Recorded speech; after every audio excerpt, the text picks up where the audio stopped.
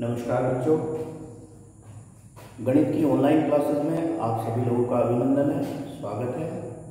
मैं आपका गणित अध्यापक कपिल देव त्यागी देखिए बच्चों, हम लोग कक्षा सात के अंदर पहला चैप्टर हम लोगों ने पूरा कर लिया था, परिमेय संख्याएँ। आज दूसरा चैप्टर हम स्टार्ट करेंगे, घातांक।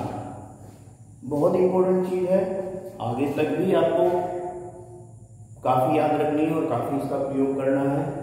उससे पहले मैं आपको कहना चाहूँगा कि अगर आप लोगों के पहले अध्याय, पहली एक्सरसाइजेस छूट गई हैं तो आप चैनल को सब्सक्राइब करके उन सभी एक्सरसाइज को देख सकते हैं।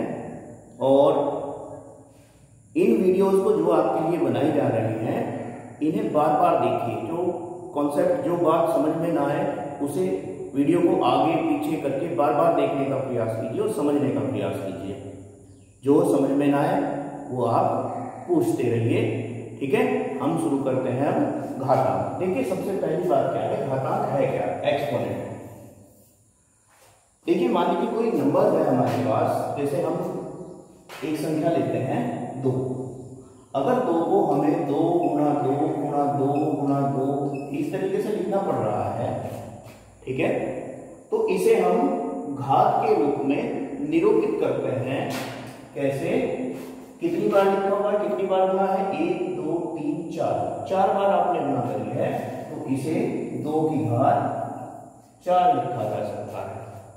देखिए, दो की घात चार का मतलब क्या है? दो की गुना उसी में, दो में ही, चार बार। ठीक है? इसी तरह अगर ये गुना दो गुना दो हो तो कितना लिख सकते हैं? दो की घात तीन। इस बात का ध्यान रखें कि घात को ऊपर ही लिखे, यहाँ पे सिर पे। ठीक है ना? सामने ना लिखे, ये तो गड़बड़ है।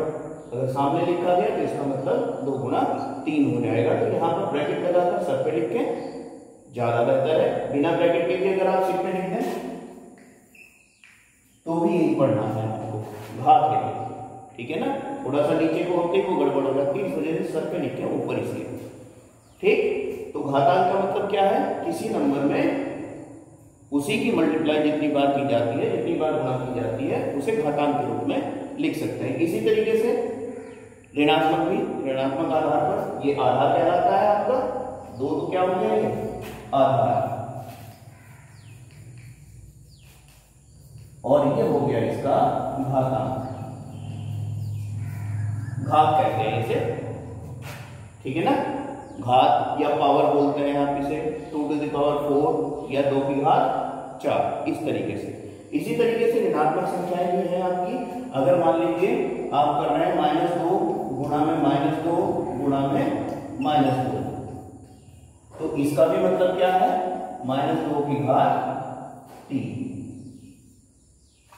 ठीक है? तो इसे आप घातांक बोलते हैं। अब सीधे हम एक्सरसाइज पे चलते हैं। बाकी को के कॉन्सेप्ट को बाद में हम करते रहेंगे, समझते रहेंगे धीरे धीरे पहले आप देखिए, प्रश्न कितने आसान है इसमें। आपकी एक्सरसाइज है टू ए पहला ही प्रश्न है आपके पास। प्रश्न नंबर एक माइनस टू अपॉन थ्री और उसकी पावर कितनी दे रखी है आपको? पाँच। ठीक है? तो अब आपको इसका मान ज्ञात करना है कि इसका वास्तविक मान या सरलतम रूप में क्या लिखा जा सकता है। देखिए, अभी मैंने आपको बताया, अगर घात पाँच है तो इस संख्या की पाँच बार गुना आपको करनी है? कुछ घातांक के नियम भी होते हैं, वो नियम हम बाद में पढ़ेंगे, लेकिन पहले हम इन्हें सरल करना सीख लेते हैं। इसका मतलब है आपका माइनस दो बटे तीन गुणा में माइनस दो बटे तीन गुणा में माइनस दो बटे तीन गुणा में माइनस दो बटे तीन और गुणा में माइनस दो बटे तीन। एक, दो, तीन, चार, पाँच। पाँच बार की तो हमने पाँच बार गुणा किया। अब ध्यान देने वाली बात आपकी है कि ये माइनस चिन्ह ठीक? माइनस चिन्ह कितनी बार आया है? एक, दो, तीन, चार, पाँच। पाँच ही बार माइनस चिन्ह आया है। तो माइनस की गुणा जब माइनस में करी, प्लस हो गया, फिर इस प्लस की गुणा माइनस में करी, फिर माइनस हो गया, फिर माइनस में माइनस की गुणा करी, प्लस हो गया, फिर प्लस की गुणा माइनस में करी तो माइनस हो गया। अब सीधी बात देखिए, अगर बहुत ज़्यादा दे रखा है तो आप कैसे देखेंगे इसे? कि ये माइनस का आएगा प्लस का आएगा? अगर आपके पास ऋण चिन्हों की संख्या या माइनस की संख्या विषम है, विषम क्या हुआ करता था? एक, तीन, पाँच, सात, नौ, ग्यारह। ये दो से नहीं घटती संख्या है। अगर ऋण चिन्हों की संख्या या माइनस के जो चिन्ह है, उनकी संख्या आपके पास विषम है तो माइनस ही आएगा। ठीक है, याद रहेगी ये बात। अगर आपके पास एक, तीन, पाँच, सात, नौ, ग्यारह, पंद्रह इस तरीके से आपके पास माइनस के चिन्ह हैं तो उनकी गुणा हमेशा माइनस आएगी। और अगर ये सम है, आपके पास माइनस चिन्ह आपके पास दो, चार छ आठ, दस इस तरीके से है तो वो हमेशा प्लस आएगी माइनस की गुणा करने के बाद। अगर ये माइनस के चिन्ह आपके पास छह होते तो आपका परिणाम प्लस का आता ठीक है? अब आपके पास ऊपर देखिए ये आपके पास हुआ फिर। इसे ब्रैकेट में ले लीजिए अंदर ऊपर कितना है? एक, दो, तीन, चार, पाँच, यानी कि दो गुणा दो गुणा दो गुणा दो गुणा दो। पाँच बार को लिख लीजिए। बटे में इसी तरह अंश की गुणा अंश में होती थी और हर की गुणा हर में। परिमेय संख्याओं में आप लोगों ने पढ़ा। है यहाँ नीचे क्या हुआ? तीन गुणा तीन गुणा तीन गुणा तीन और गुणा में तीन। ठीक है? माइनस चिन्ह तो बाहर रह गया। ऊपर देखिए, दो चार आठ सोलह दुई बत्तीस। माइनस के बत्तीस। और बटे में तीन या नौ या सत्ताईस या इक्यासी और दो सौ तैतालीस ये आपका इसका आंसर आ जाएगा। क्लियर है ये बात?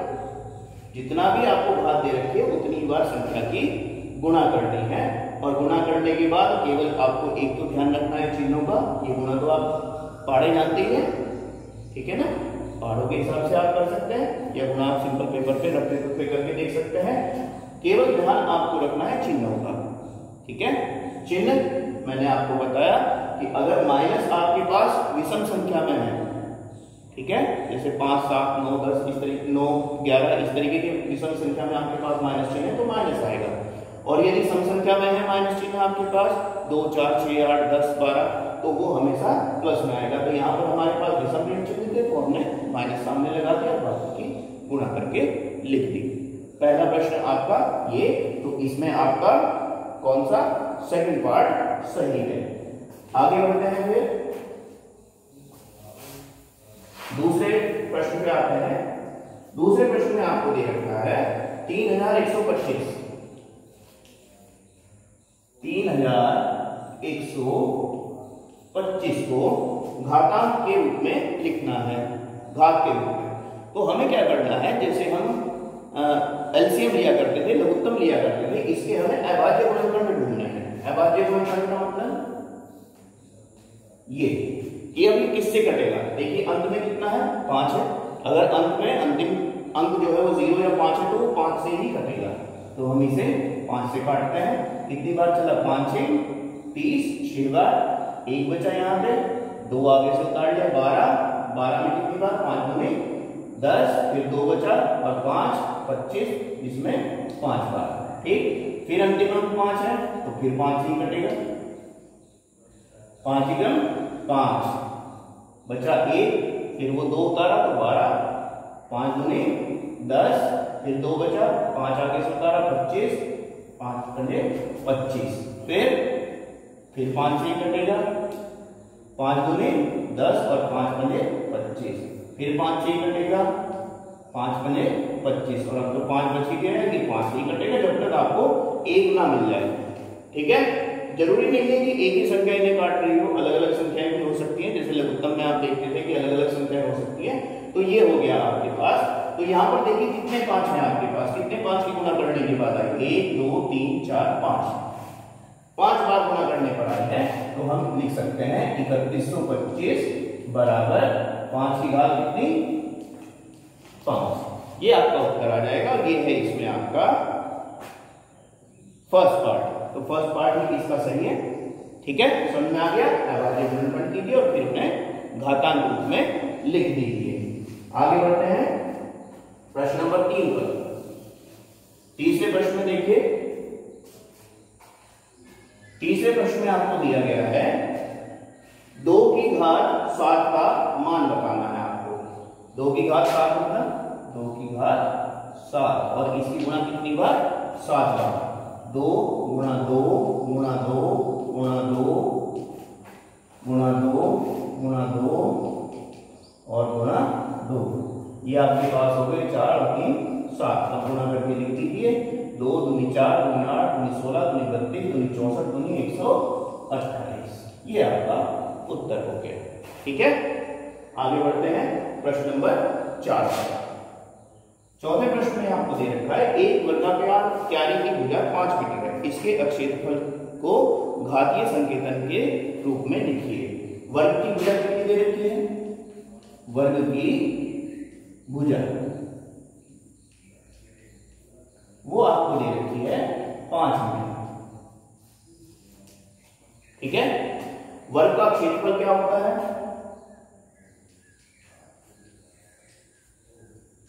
वर्ग का क्षेत्रफल होता है भुजा गुना भुजा।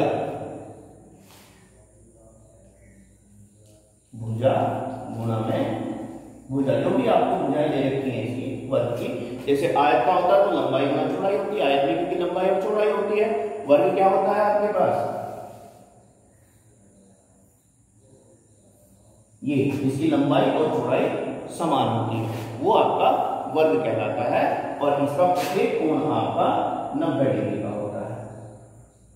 ये भुजाएँ आपकी सब बराबर है। ठीक है ना? तो भुजा गुना भुजा तो क्षेत्र में कितना हो जाएगा? पाँच गुना में पाँच। क्योंकि भुजा आपकी पाँच सेंटीमीटर की रखी है, इसे घातांक रूप में लिखना चाहते हैं आप तो पाँच का वर्ग। और हल करके लिखना चाहते हैं तो पाँच गुना पाँच कितना? पच्चीस। वर्ग मीटर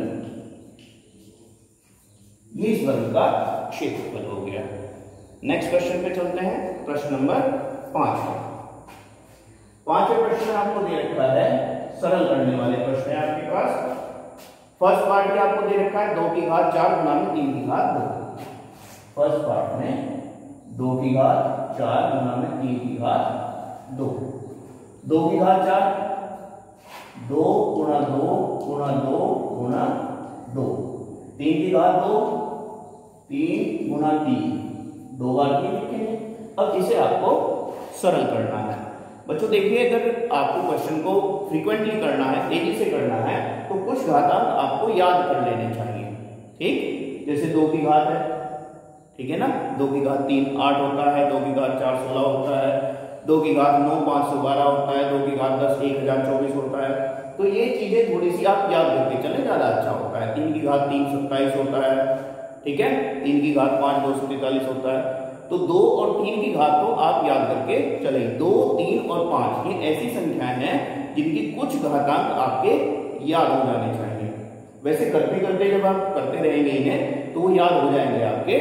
इसमें कोई ऐसा रखने वाली बात नहीं है। धीरे धीरे आप समझ जाएँगे जब करते रहेंगे ठीक है ना? तो प्रैक्टिस कीजिएगा इसकी। अब देखिए, दो की घात जब आपने चार बार करी तो वो आपके पास हुआ सोलह। और तीन की घात दो बार करी, यानी कि तीन गुना तीन करा तो वो हो गया आपके पास नौ।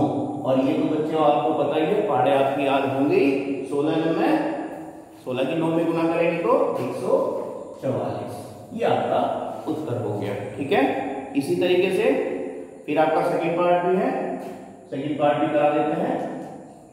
सेकंड पार्ट में आपको दे रखा है माइनस दो की घात तीन और माइनस में दस की घात तीन। अब देखिए, अगर मैं माइनस को यहीं पे इसे समाप्त करना चाहता हूँ या माइनस की जो ऋण चिन्ह आपको दे रखा है, इसे यहीं पर आप देखना चाहते हैं तो यहाँ पर देखिए माइनस कितने हैं आपके पास? तीन है। ठीक है ना? घात जितनी है, उतनी माइनस है। यहाँ पर माइनस कितने हैं? यहाँ पर भी तीन है। तो कुल कितने माइनस हो गए? तीन यहाँ से और तीन यहाँ से कुल कितने हो गए? छह माइनस हो गए। तो जब हम इनकी गुणा करेंगे, मैंने आपको पहले भी बताया था कि अगर ऋण चिन्हों की संख्या आपके पास सम है तो परिणाम हमेशा धनात्मक आएगा। और यदि ऋण चिन्हों की संख्या आपके पास विषम है तो परिणाम हमेशा ऋणात्मक आएगा माइनस चिन्ह के साथ आएगा। तो यहाँ पर माइनस आपके पास छह है कुल मिला के। देखिए, अगर मैं माइनस एक लू तीन यहाँ से, तीन यहाँ से तो छह है आपके पास कुल मिला के। माइनस को माइनस एक लिख देंगे आप हमेशा अब यहाँ पर आपके पास क्या रह गया दो की घात तीन, माइनस इनमें से हमने निकाल लिया, और यहाँ पे दस की घात तीन। तो माइनस एक की घात छह हमेशा कैसा होगा? प्लस का होगा तो उसे तो छोड़ दीजिए, प्लस को लिखा नहीं करते आप शुरू में। यहाँ सामने प्लस तो नहीं लिखा हुआ किसी भी संख्या के तो उसे लिखते नहीं माइनस होगा तो लिखते हैं। दो की घात तीन। ये आपको अच्छी तरीके से अब याद हो भी गया होगा। कितना हो जाता है? आठ। और दस की घात तीन किसी भी ज़ीरो वाली संख्या जो आपको दे रखी है, जैसे दस दे रखा है, सौ दे रखा है, हज़ार दे रखा है तो जितनी भी हमें घातांक दे रखी है, ज़ीरो की संख्या उतनी ही गुना बढ़ जाती है। जैसे हमें यहाँ पर दस दे रखा है, दस के पास तो कितने ज़ीरो है? एक है तो ये तीन गुना हो जाएँगे यानी कि, ठीक? अगर ये सौ होता तो उसका तीन गुना करते तो छह ज़ीरो हो जाती है हमारे पास। अगर एक हज़ार होता और उसकी घात तीन होती यहाँ पे तो हमारे पास नौ ज़ीरो हो जाती। क्लियर हो गई ये बात? अगर ज़ीरो एक है हमारे पास तो तीन गुना तीन हो गई। दो ज़ीरो होती है हमारे पास तो छह ज़ीरो हो जाती ठीक? अब आठ गुना एक हज़ार में सिंपल सी बात है। कितने हो गए? आठ हज़ार। ये हमारा उत्तर हो जाएगा इसका। तो ये आपका पांचवा प्रश्न भी पूर्ण हुआ। अब आते हैं प्रश्न नंबर छह पर छठे प्रश्न में लिखिए छठे प्रश्न में आपको दे रखा है कि एक संख्या है आपके पास पंद्रह छह सौ पच्चीस। पंद्रह हज़ार छह सौ पच्चीस के अभाज्य गुणनखंड ज्ञात कर पंद्रह हज़ार छह सौ पच्चीस के आधार पाँच पर घातीय संकेतन के रूप में व्यक्त कीजिए। जैसे कि हमने अभी अभी प्रश्न नंबर दो किया था। इसी तरीके का प्रश्न नंबर छ है। आपको दे रखा है पंद्रह छह सौ पच्चीस। इसके अभाज्य गुणनखंड हमें करना है। उसी प्रकार अंतिम अंक पाँच है तो किससे कटेगा? पाँच से ही कटेगा। पाँच किया, पंद्रह तीन बार, आगे छह बचा, पाँच कम पाँच, एक बचा, पाँच गुने दस और पाँच गुने पच्चीस। फिर पाँच से काटिए। पाँच से तीस पाँच गुने दस, पाँच गुने पच्चीस। फिर पाँच से काटिए भाग करने का सिंपल तरीका है वही करते जाइए अगर यहाँ पे आप भाग नहीं हो रहे तो अलग से आप भाग करके देख सकते हैं। कितना आ जाएगा? एक सौ पच्चीस। फिर पाँच से आप काटेंगे, कितना आ जाएगा? पच्चीस। फिर पाँच से भाग देंगे तो पाँच, और फिर पाँच से भाग देंगे तो एक। ठीक है? अब जब तक हमारे पास एक नीचे ना मिल जाए हमें तो अब देखिए पंद्रह छह सौ पच्चीस को आप क्या लिख सकते हैं? पाँच आधार पर। आधार आपका पाँच हो गया। अब घात आपको कितनी? कितने पाँच आपको मिलेंगे। एक दो, तीन, चार, पाँच छ तो क्या लिख सकते हैं इसे? पाँच की घात छ ठीक है? तो ये आपका छठा प्रश्न भी पूर्ण हुआ।